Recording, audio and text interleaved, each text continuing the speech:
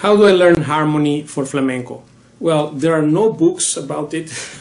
you have to join the Skype course I'm giving because if you want to learn the modern stuff, I mean, if you first have to decide if you want to learn the traditional old-fashioned flamenco, which is everything else which is not Paco de Lucia, or if you want to learn Paco de Lucia's style. If you want to learn Paco de Lucia's style, then you need to address everything towards that. And so then therefore, if you study other courses, of course there are great courses of harmony in jazz, in, in, in Juilliard or anywhere, in any good institution or, or with private teachers, etc., in jazz music but that is applicable for that only.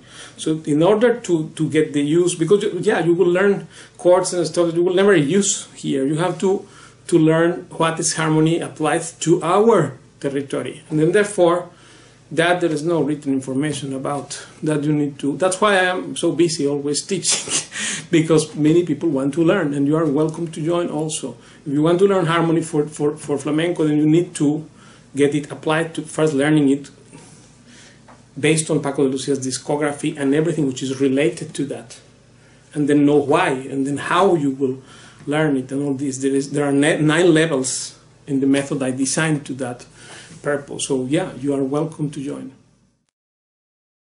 Me ayudó porque descubrí ahí el, la improvisación.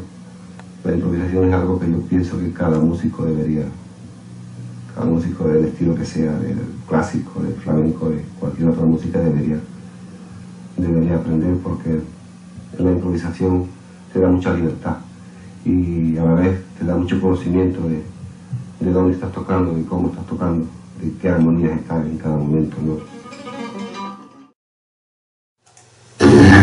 Muy bien. Pablo. Paco, ¿qué es para usted la música popular y qué es la música elitista? Yo creo que la música elitista es el refinamiento de la música popular. Por ejemplo, el flamenco. El flamenco originalmente es una música popular, la música del pueblo Andalucía. Pero creo que ya no le pertenece más al pueblo, porque de pronto Habemos gente que nos hemos pasado toda una vida encerrados, puliendo esa expresión popular. Entonces ha llegado a un nivel en el, que el pueblo ya no, no, no tiene acceso, sobre todo a los matices que vamos consiguiendo la gente como yo que nos pasamos muchas horas eh, elaborando esa música.